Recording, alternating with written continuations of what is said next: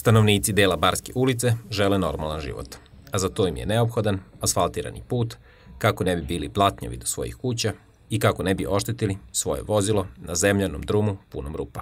Problem je nastao 70. godina kada su izgrađene kuće na zemlji koju je isparcelisao tadašnji vlasnik. Za sve što im treba od priključaka, neophodno je odobrenje vlasnika zemlje.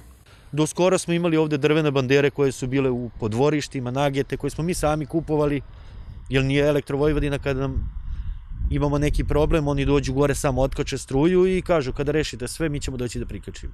Malo po malo izborili smo se, evo, sami zahvaljujući nama, za ove betonske bandere, isto smo tako išli i borili se za kanalizaciju, trudimo se i za put, ali nešto nam ne ide, trebala bi nam pomoć od opštine, od države, od bilo koga, da napokon i mi živimo kao sav normalan svet.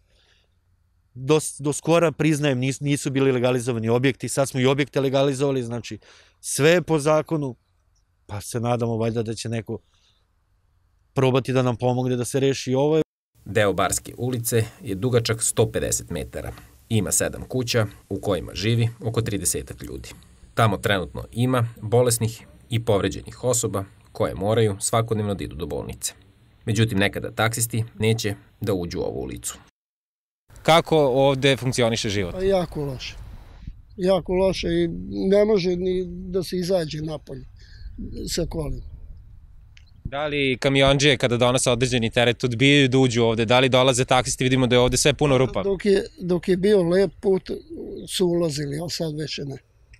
Ja sam dva put nedeljno treba da idem na prvijenje i idem i dan danas. To da uđeš i da izađeš, užas. I komšija je bolestan, povredio kičmu, strašno, znači ulazak izlazak, njega su ostavili tu gore na ulici i nisu mu dozvolili da uđe sa hitno pomoći do što je bio loš put, znači, kaže, ne možemo mi dalje. Nemaju samo problem stanovnici dela Barske ulice, već i Dejan Đurin, vlasnik parcele, na koju su postavili, kako kaže, ilegalno dalekovod, zbog kog ne može da koristi svoje imanje za bilo koju drugu svrhu.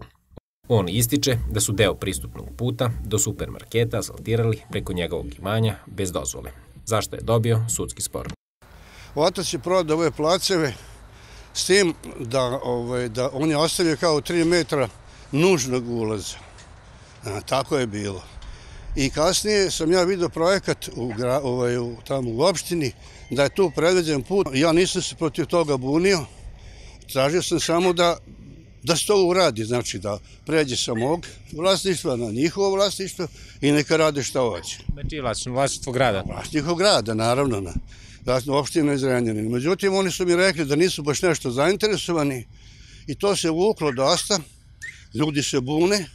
Umeđu vremenu ovde je prošao plin, prošla voda, prošla kanalizacija, voda i plin nelegalno, nikome nije pitao, struja isto nelegalno. Jedino sam ja dozvolio kanalizaciju, jer nije bilo smisla. Ljudi nisu krivi, a nisam kriv ni ja. A sad oni tu mene dosta njih optužuju da im ja ne dam put. Ne mogu ja da ti dam. Ja sam samo ucijepio parcelu, a to je treba grad da uradi. A ne ja, možda, ako sam ja trebao, trebao sam, ajde uradio sam. Ali oni treba to da otkupe.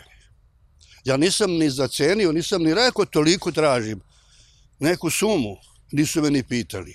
Iz mesne zajednice znaju za ovaj višedecenijski problem.